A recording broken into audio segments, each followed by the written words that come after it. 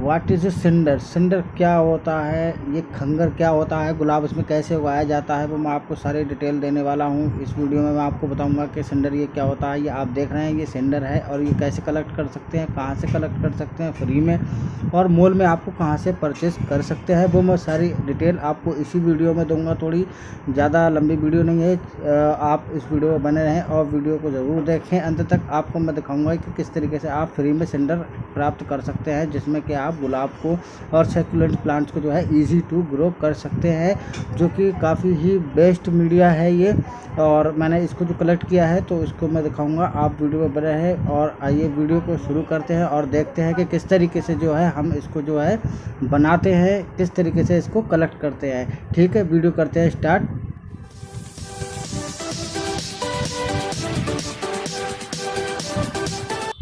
Hello दोस्तों welcome to Idrisi button store आज हम बात करने वाले हैं सेंडर, यानी कि खंगर, जिसमें कि गुलाब उगाया जाता है और ये जो है, किस तरीके से प्राप्त की जाती है, ये कहाँ मिलती है और ये होती क्या चीज़ है? तो आइए ये देख सकते हैं, मैं आपको दिखाने की कोशिश करता हूँ। ये कुछ सेंडर है जो कि मैं आपको दिखाता हूँ, ये फ्री में कलेक्ट कैसे कर सकते हैं आप? ये जो होती है, ये एक पत्थर का जो कोयला होता है, एक तो लकड़ी का कोयला होता है, एक होता है पत्थर का कोयला, जो कि जला हुआ जैसा कि आपने मालगाड़ियों में जाते हुए देखा होगा, पत्थर, वही उसकी ये जो है, जला हुआ होता है। तो उसको जो है, इस तरीके से भट्टी में चाय वाले की दुकान से या फिर किसी भी भट्टी पे जहाँ पे ये जलता है, उससे आप आसानी से कलेक्ट कर सकते हैं। जैसा कि आप देख पा रहे हैं, इसके अंदर काफ़ी सारी राख भी है बारीक बारीक सी। तो मैं इसको जो है, भट्टी से एक जो है, चाय वाले की भट्टी से लेकर के आया था। इसको मैंने थोड़ी सी कलेक्ट की थी, जो कि मैंने एक बार तजुर्बा लेने के लिए कि देखता हूँ कि किस तरीके से इसमें गुलाब जो है ग्रो होता है और मुझे इसका काफ़ी अच्छा रिज़ल्ट मिला है। मैं आपको आने वाली वीडियो में बताऊँगा। आप अगर हमारे चैनल पर नए हैं तो हमारे चैनल को ज़रूर से सब्सक्राइब कर लें। अगर आप अच्छी अच्छी वीडियो ऐसे ही तजुर्बे और काफ़ी अच्छे अच्छे वीडियो चाहते हैं तो आप जो है बगल वाले बैल के आइकन को भी ज़रूर दबा दें ताकि हमारी वीडियो मिलती रहे सबसे पहले आपको।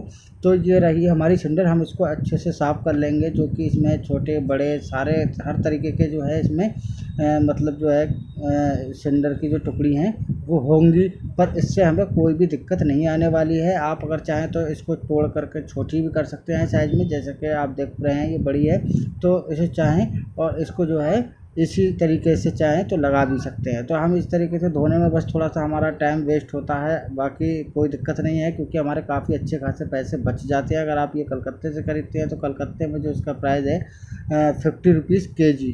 तो ये के जी के सब एक गमले में लगभग दो के जी के करीब जो है लगभग आ जाती है तो यानी कि हंड्रेड रुपीज़ का जो है ख़र्चा आया आपका।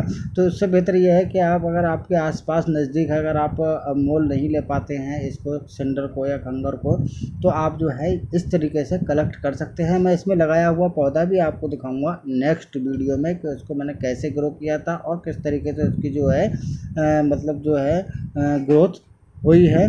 तो इसी तरीके से हम वन बाई वन इसको धो लेंगे और हम अच्छे से जो है इसको निकाल लेंगे। और अच्छे से चाहें तो और अच्छे से भी आप इसको धो सकते हैं। पर मैंने जल्दबाजी में जो है अभी आपको सिर्फ़ दिखाने के लिए ये दो ही जो है तरीके से मतलब जो है धो करके दिखाया है। अभी इसमें से एक बार, एक दो बार और भी धो सकता हूँ।